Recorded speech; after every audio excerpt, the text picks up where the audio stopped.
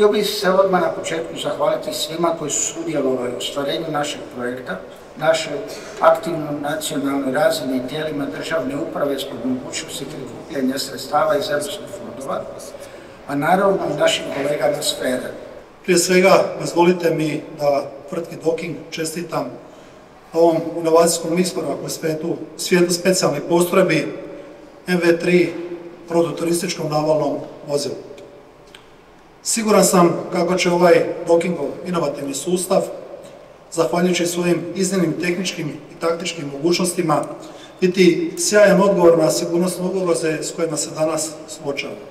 Sama nabavka vozila je ovo što sam spomenuo prije strojeva za razminiranje ili bilo koje druga, mi prije svega dajemo jedan dokaz da je ovo vozilo uistinu skovito i na taj način šaljemo poruku svim drugim postrojbama da bi trebali kinuti.